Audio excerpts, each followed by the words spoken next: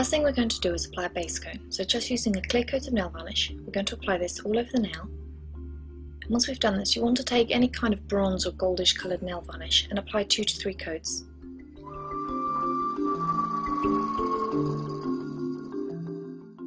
Now taking a black nail varnish, what we're going to have to do is take the brush and really carefully wipe off all the excess nail varnish. You want to leave just enough on the brush so that if it touches the nail it will leave a really light coat and it won't drip down the brush. So really lightly, dab it onto the nail and create O and C shapes. Because there isn't a lot of nail varnish on the actual brush, what happens is because there isn't very much, it's going to create these really rough lines, so it's going to look a lot more realistic. Finish off with a clear coat, and that's it, you're done.